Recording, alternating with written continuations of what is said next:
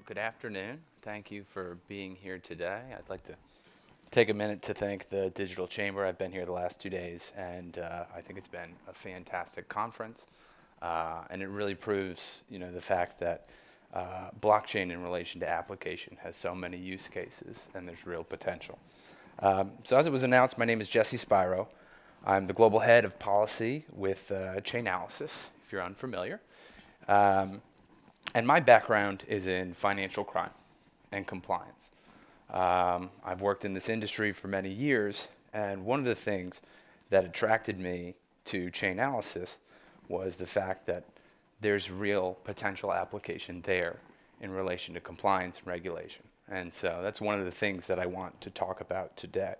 So, you know, when we talk about building trust in blockchains, um, you know, we talk about the, the boom in relation to cryptocurrency in 2017. We talk about the bust in 2018, uh, and what many people are, are defining kind of as the current crypto winter.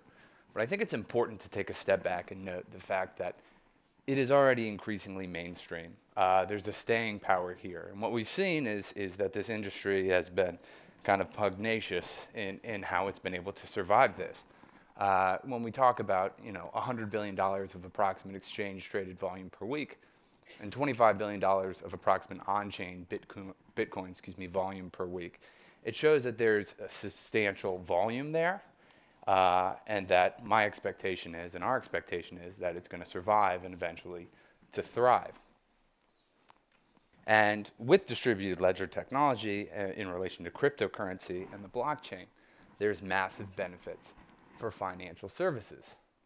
You know, accessibility, we're talking about accessibility, um, providing access where previously uh, there may not have been for individuals in relation to moving money.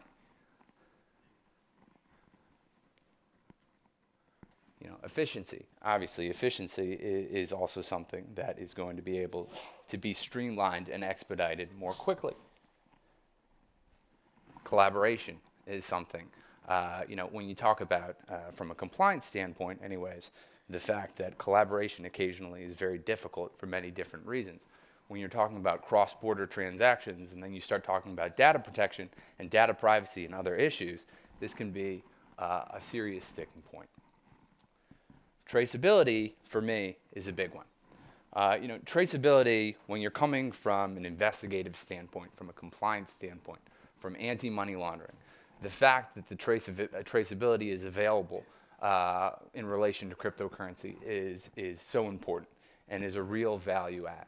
You know, somebody likened this to me once, and I'm sure some of you have heard the same thing, that you know, if you take a dollar and you put that into a bank, it is uh, very difficult, if not impossible, to trace every cent. Uh, but that is not the case for cryptocurrencies. And being able to identify all of those touch points is very important. Security, obviously, we are all familiar uh, with distributed ledger technology, so I'm not going to take too much time talking about this, but added security is another benefit. Audit trail, again, this is something to me that was very attractive. When we're talking about um, compliance, again, one of the important points when you're talking about technology is there's a lot of technologies that exist, um, but justification is an issue in relation to engaging with the regulators and identifying why a decision has been made and how it has been made. And that has slowed a lot of the potential progress that we've seen in relation to RegTech. And then finally, transparency you know, the, the transparency that is afforded uh, in relation to cryptocurrency, the transparency that Chainalysis provides is something that is so attractive. So there are massive benefits, obviously, um, but it is important for me to note when I'm talking about this that a lack of regulation, or as a caveat, a lack of global regulation has led, and oversight has led to systemic abuse right? I think everybody in this room is probably familiar with a lot of the stories that you've heard in relation to cryptocurrency being used for illicit purposes. You know, um, darknet markets, peer-to-peer exchanges, mixing services, stolen bitcoins, scams, ransomware, child exploitation and sex trafficking, terrorism financing, and sanctions evasion. You know, all of these things have been identified. Uh, recently, the scandal with Quadriga, you know, I think we can all probably agree, if you've been following that, that more will probably be revealed in relation to that. Um, and it's, it's, it's been difficult, you know, for the industry. It certainly has given a bad name to the space. Uh, for me, what's important to note is having worked in traditional financial services, you know, this is not a problem that is specific to cryptocurrencies. This is a problem that uh, traditional financial services has faced also, uh, and they've just been around far longer, and they have had to, you know, uh, patch the fence. You know, bad actors, when we're talking about them, are always probing to find vulnerabilities and to exploit them in relation to how they move illicit money. And this is no different. Um,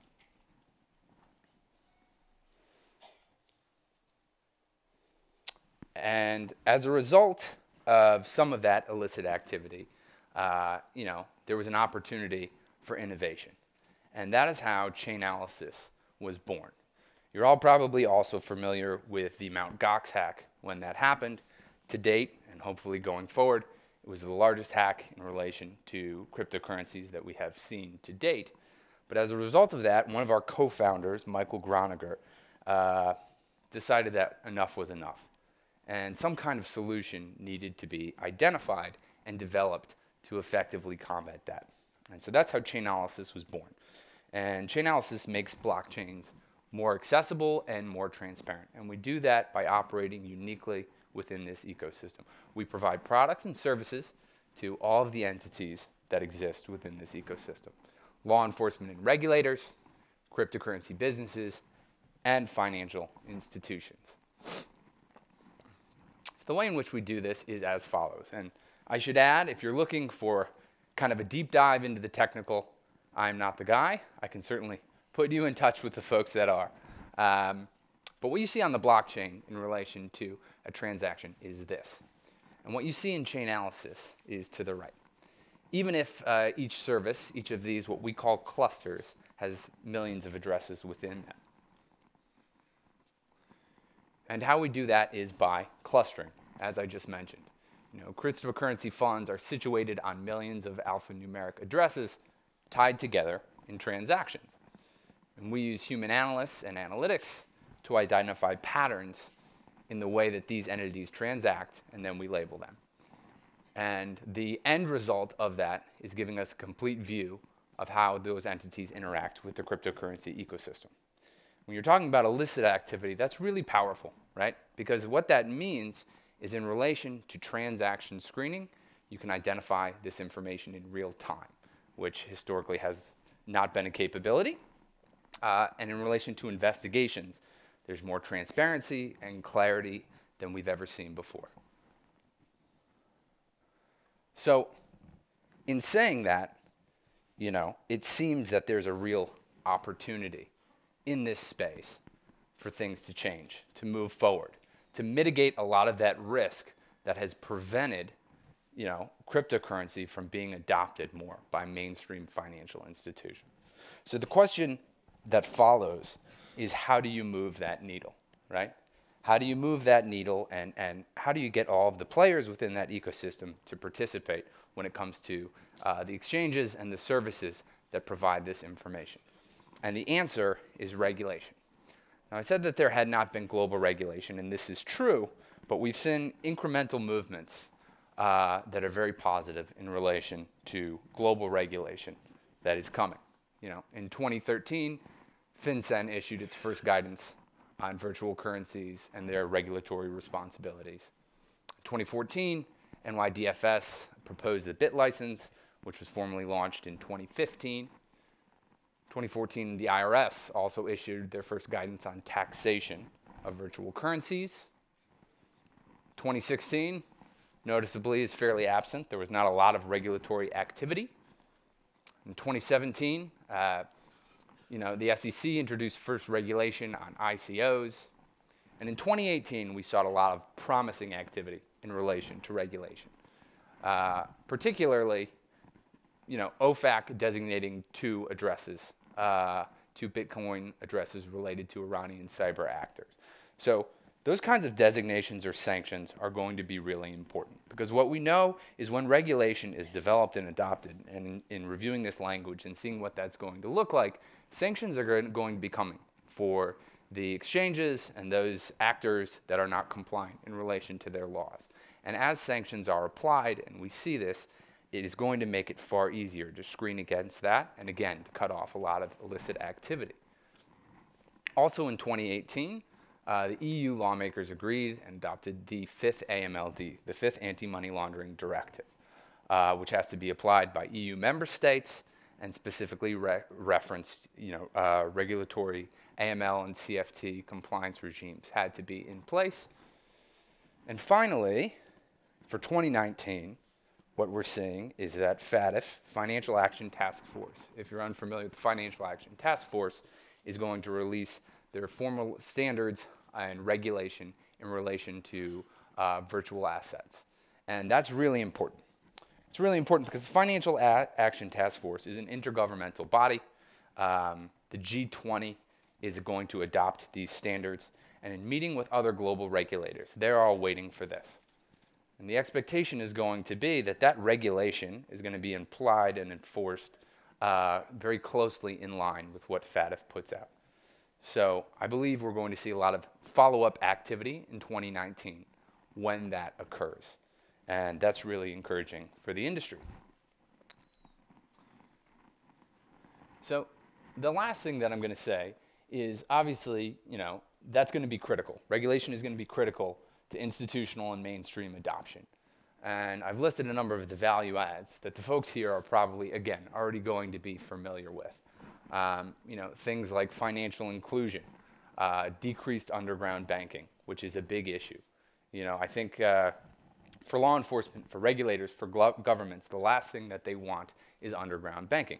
In traditional financial services, we call that de-risking, and it is a huge problem. It's a potential pain point, and uh, you know a lot of effort uh, goes into avoiding that. And again, there's potential here if this is applied that there will be less of that. You know, frictionless payments. I've heard that discussed many times here. Again, there's value. A decreased cost of compliance. This is also very important. It ties back into what we're talking about when we say, you know, potentially de-risking. One of the reasons that that occurs is for institutions to be compliant. The cost of compliance in those high-risk jurisdictions is too high in many cases. And the cost of compliance will be decreased if distributed ledger technology can be applied effectively, cryptocurrency specifically. So what I'm going to leave you with in my last minute is I think that in relation to how uh, you know Bitcoin and cryptocurrency is seen, we'll say cryptocurrency, in relation to which it's seen by financial services, that narrative already exists. But I think it's very important to add the potential for this to be a regtech technology when it's applied.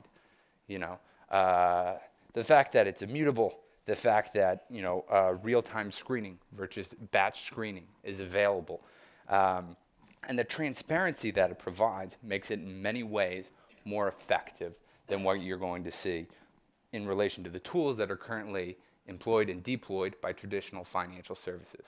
And to me, that is one of the things that is most exciting. It's one of the things that's most exciting about our company and what I do and about the future uh, of this industry and what we're going to see in this space. So uh, that is it from me. Thank you very much. I appreciate your time. If you have any questions, please feel free to stop me when we wrap up. So, thank you.